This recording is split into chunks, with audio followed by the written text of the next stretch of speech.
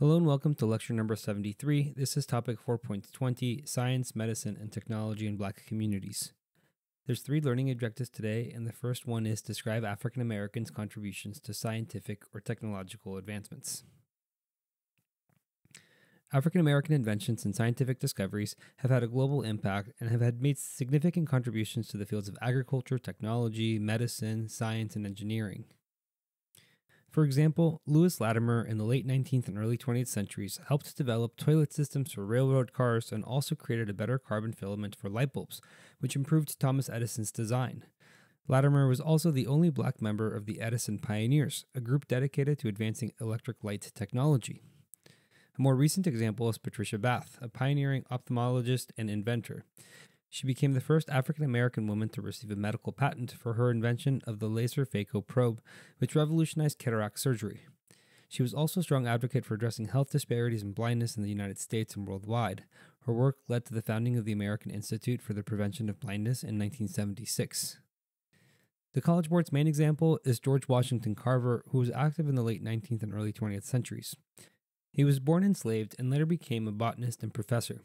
He joined Booker T. Washington at the Tuskegee Institute in 1896 and taught there for over 40 years. He created over 300 uses for peanuts and over 100 uses for sweet potatoes. These included dyes, plastics, and fuels. One common misconception is that he invented peanut butter, but that is not true.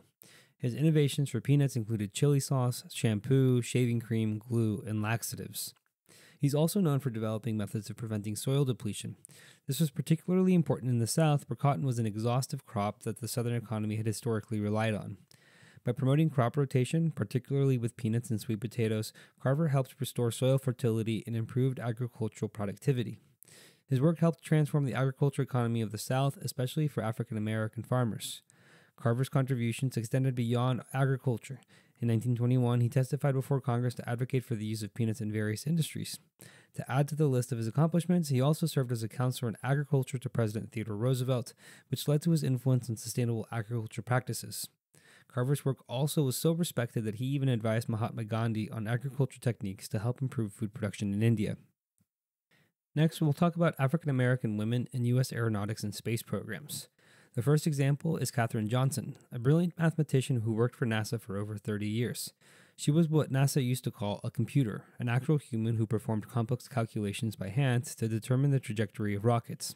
Her calculations were crucial for John Glenn's 1962 orbit around the Earth, as he specifically requested that she verify the numbers before his mission. She was also part of the computing team that helped the Apollo 11 mission successfully land on the moon and return safely in 1969. Before NASA, Johnson worked at the National Advisory Committee for Aeronautics, which later became NASA, where she broke racial and gender barriers in the workplace. In 2015, she was awarded the Presidential Medal of Freedom by President Barack Obama, recognizing her vital contributions to space exploration. In 2016, the film Hidden Figures highlighted the work of Johnson and other African American mathematicians, including Dorothy Vaughan and Mary Jackson, who were also instrumental in NASA's success. Dorothy Vaughan was the first black supervisor at NACA and later became an expert in Fortran programming, a skill crucial for NASA's early computing. Mary Jackson went on to become NASA's first black female engineer in 1958 after fighting segregation policies that limited her education. The second example is Mae Jemison, who in 1992 became the first African American woman to travel in space. She was a physician, engineer, and NASA astronaut who conducted experiments on bone cell research in microgravity during her time aboard the Space Shuttle Endeavour. Before becoming an astronaut, Jemison worked as a doctor and served in the Peace Corps in Sierra Leone and Liberia, providing medical care and public health education. She eventually left NASA to pursue teaching and advocacy, promoting science education and encouraging minority students, especially young girls, to pursue careers in STEM. She also founded the Jemison Group, a company that develops technology to improve healthcare in developing countries. In 1993, she even appeared in an episode of Star Trek The Next Generation, making her the first real astronaut to appear on the show, fulfilling a childhood dream inspired by actress Nichelle Nichols, who played Lieutenant Uhura. The second learning objective is describe African Americans' contributions to American medical care, training, and medical advancements. African Americans have played a vital role in reshaping the U.S. healthcare system, particularly expanding access to medical care and advocating for desegregation in healthcare institutions. This advocacy dates back to the early community based healthcare initiatives, such as mutual aid societies. The first of these was established in Philadelphia in 1787, called the Free African Society, founded by Richard Allen and Absalom Jones. This was one of the first black mutual aid organizations in the U.S. and played a critical role in aiding black Philadelphians' population during the 1793 yellow fever epidemic. At a time when many white doctors fled the city, black volunteers provided essential care despite facing discrimination even after the crisis ended. Another key organization was the Black Cross Nurses, formed in the 1910s, which educated black communities about hygiene and disease prevention. This group was inspired by the Red Cross but was created to address the medical neglect faced by black Americans, particularly in segregated southern states. A more recent example, which we discussed in a previous lecture, is the People's Free Medical Clinics, established by the Black Panther Party in the late 1960s and 1970s. These clinics were created even after the 1964 Civil Rights Act was passed, which mandated the desegregation of hospitals, because de facto segregation and racial disparity still persisted in the medical system. Many hospitals continue to deny black patients access to quality care, particularly in rural and southern areas. The Black Panthers clinics primarily provided first aid and basic healthcare services such as childhood vaccinations, screenings for high blood pressure, lead poisoning, tuberculosis, and diabetes, diseases that disproportionately affected black communities. In the 1970s, they also introduced sickle cell anemia screenings, raising awareness about this genetic blood disorder that primarily affects peoples of African descent. All of these efforts were necessary because of segregation and discrimination in hospitals before the 1964 Civil Rights Act. In the 1940s, a report by the U.S. Public Health Service revealed that black Americans had access to only 15,000 of the 1.5 million hospital beds in the country. Additionally, black doctors and nurses were often denied privileges at white run hospitals, forcing them to establish their own medical institutions. Some of this disparity was addressed by establishing non segregated hospitals in the late 19th century. The very first black run hospital was Provident Hospital, founded in Chicago in 1891 by Dr. Daniel Hale Williams. Another significant hospital was Homer G. Phillips Hospital, which operated from 1937 to 1979 in St. Louis and became one of the leading training institutions for black medical professionals. At its peak, it trained more black doctors and nurses than any other hospital in the United States. The Black Hospital movement of the mid 20th century sought to expand healthcare services for African Americans. In this movement, black physicians collaborated with local governments to secure funding and establish hospitals that served black communities. As previously mentioned, the 1964 Civil Rights Act mandated the desegregation of public spaces, including hospitals, but full integration took years to achieve, and many black hospitals continued to operate until broader healthcare reforms improved access. The other part of the equation in expanding medical care for African Americans was training black doctors. In the 19th century, very few predominantly white institutions accepted black students into their medical schools. Rush Medical College was the first to do so, admitting David Jones in 1847, who graduated in 1849. At other universities like Harvard and Dartmouth, black students were occasionally admitted, but many were forced to leave due to protests from white students or were discouraged from pursuing medical careers. For example, in 1850, Harvard briefly admitted three black students but expelled them after white students protested. To increase the number of black doctors, African Americans established their own medical schools. The first was Howard University College of Medicine, founded in 1868, which provided clinical training at Freedmen's Hospital, which itself was established in 1862 to serve the newly freed African Americans. Freedmen's Hospital became one of the first federally funded hospitals in the U.S. and later merged with Howard University. Meharry Medical College in Tennessee was established in 1876 with the goal of being the first medical school in the South dedicated to training African American physicians. By the early 20th century, Meharry had become one of the leading institutions producing black doctors, particularly those serving Southern communities where access to medical care was scarce. Historically, black colleges and universities, or HBCUs, have played an essential role in training black doctors. To this day, HBCUs have trained roughly 50% of all black doctors practicing in the United States. In addition to Howard and Meharry, institutions like Morehouse School of Medicine, established in 1975, continue to be vital in increasing black representation in the medical field. The American Medical Association, or AMA, is a national network of doctors initially barring black physicians from joining. As a result, black doctors founded the National Medical Association, or NMA, in 1895 to support the training of black medical professionals. The NMA became a crucial advocate for equitable healthcare access and fought against segregation in hospitals and medical institutions. During the civil rights movement, the NMA played a significant role in pushing for hospital desegregation, particularly through its support of the Hill Burton Act, also known as the Hospital Survey and Construction Act, which aimed to improve healthcare infrastructure while challenging racial discrimination.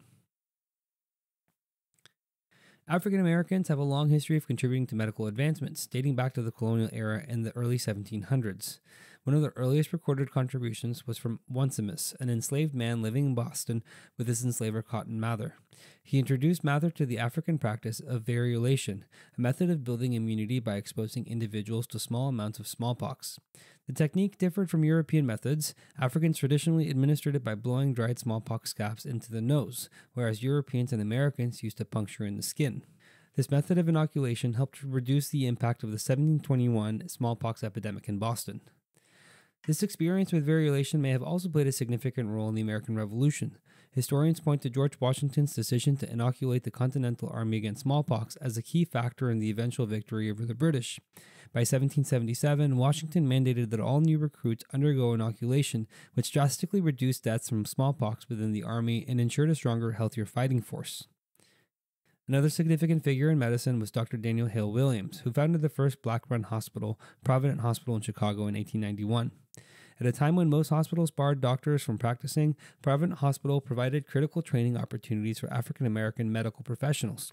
In 1893, Dr. Williams performed one of the first successful open heart surgeries without the use of x rays, antibiotics, or modern surgical tools, making his achievement even more remarkable. In the early 20th century, Dr. Charles Richards Drew, who studied at McGill University in Canada and later earned his doctorate in medicine from Columbia University, developed methods for blood storage and blood banking. His techniques made large scale blood transfusions possible, which proved crucial during World War II. When the U.S. began organizing blood drives for Britain as they fought Nazi Germany, Drew's innovations in separating plasma from the whole blood allowed for longer storage and more efficient transportation. Despite his expertise, Drew resigned from the American Red Cross after it implemented a policy of segregating blood donations by race, which he openly criticized as unscientific and discriminatory. Another major medical contribution came from Henrietta Lacks, who in 1951 sought treatment for cervical cancer at Johns Hopkins Hospital, one of the few institutions at the time that treated black patients. Without her knowledge or consent, doctors took a sample of her cancer cells during treatment. These cells, known as the HeLa cells, became the first immortal human cell line, meaning that they could reproduce indefinitely in a lab. HeLa cells have been essential to medical research, contributing to breakthroughs in the polio vaccine, cancer treatments, AIDS research, and even COVID 19 vaccine advancements. Despite the enormous scientific and commercial success of HeLa cells, Henrietta Lacks's family was never informed or compensated, even as pharmaceutical companies profited from her cells. Finally, in modern medicine, Dr. Kizzmekia Corbett, a medical researcher, was a key scientist on the National Institute of Health or NIH team that developed the Moderna COVID 19 mRNA vaccine. Dr. Anthony Fauci credited her as central to the team's efforts in designing a vaccine that successfully replicated the virus's spike protein, allowing the immune system to recognize and fight COVID 19. Her work contributed to one of the fastest vaccine responses in history, likely saving millions of lives and helping to end the pandemic related lockdowns. The last learning objective is describe multiple compounding forms of discrimination against black people with disabilities, as well as government's responses. In the 20th century, African Americans with disabilities faced compounded forms of discrimination, experiencing systemic oppression, medical abuse, institutionalization, and violation of their rights. One of the key reasons for this was the rise of eugenics, a pseudoscientific theory that promoted racial classification and the forced sterilization of people deemed inferior based on race and disability. Eugenics gained popularity in the United States in the early 20th century and was heavily promoted by American eugenicist Madison Grant, whose 1916 book, The Passing of the Great Race, argued for racial purity. Grant's ideas influenced eugenics policies worldwide and were even praised by Adolf Hitler and described it in a letter to Grant as his Bible. African Americans with disabilities were disproportionately targeted by these eugenics policies. One of the most egregious examples was the North Carolina Eugenics Program, which operated from 1929 to 1974. This program forcibly sterilized over 7,600 people, disproportionately targeting black women. Many individuals, including men, were classified as mentally ill or feeble minded without proper medical evaluations, often based on racial class biases. One particularly tragic case was that of 14 year old Elaine Riddick, who was sterilized after being raped. She was deemed unfit to be a mother by state authorities and was never informed of the procedure until years later. Another example of medical abuse was the Central Lunatic Asylum for Colored Insane, established in Virginia in 1869. It soon became a facility where African Americans were institutionalized without evidence of mental illness and subjected to horrific treatment. Due to segregation and a lack of medical training opportunities for black professionals in the South, all of the doctors at the asylum were white, while all the patients were black. Medical historians have described this practice as a form of medical colonialism, where black bodies were controlled, studied, and subjected to unethical treatment under the guise of medical care. Perhaps the most infamous example of medical abuse against African Americans was the Tuskegee syphilis experiment, which ran from 1932 to 1972. The U.S. Public Health Service enrolled 600 black men, 399 with syphilis, and 201 without, under the false pretense of providing free health care. Instead, doctors studied the long term effects of syphilis by deliberately withholding treatment, even after penicillin became the standard cure in 1947. The men in the control group were never informed of their diagnosis, and many died from the disease or passed it to their families. The unethical study was only exposed after whistleblower Peter Buxton, a public health worker, leaked information to the press in 1972. The revelation led to public outrage, congressional hearings, and the eventual establishment of federal protections for research participants, including the National Research Act of 1974. Our last slide focuses on the American Disabilities Act, or ADA, which was passed in 1990. This landmark legislation built on the civil rights achievements of the 1960s and the advocacy efforts of disability rights activists in the 1970s and 1980s. The ADA was heavily influenced by early legislation, including the Rehabilitation Act of 1973, which first prohibited disability based discrimination in federally funded programs. One significant African American disability rights advocate was Brad Lomax, a Black Panther Party member who developed multiple sclerosis. Despite his condition, he became a key organizer of the 504 sit in, which took place on April 5, 1977. The sit in was the longest nonviolent occupation of a federal building in U.S. history, lasting 26 days, and successfully pressured the government to enforce Section 504 of the Rehabilitation Act, which prohibited disability based discrimination in federally funded programs. Lomax's activism connected the disability rights movement with the broader struggle for racial and social justice. The ADA prohibited discrimination against individuals with disabilities in multiple areas of public life.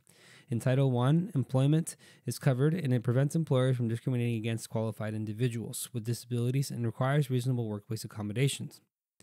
Title II is public services and government programs. This requires equal access to public institutions, schools, and government services, ensuring that disabled individuals receive the same opportunities as others. Title III is public accommodations. It mandates accessibility in businesses, transportation, and public spaces. This includes ramps, elevators, braille signage, and accessing seating in public venues.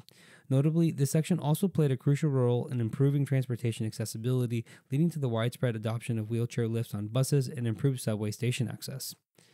Title IV is telecommunications, and it ensures telephone and communication access for individuals with hearing or speech disabilities through relay services and captioning. Despite the progress made by ADA, many public institutions still fail to fully comply with accessibility standards, particularly in underfunded black communities. Studies show that black and low income neighborhoods are more likely to have inaccessible infrastructure, such as missing curb cuts, poorly maintained ramps, and limited access to specialized transportation services.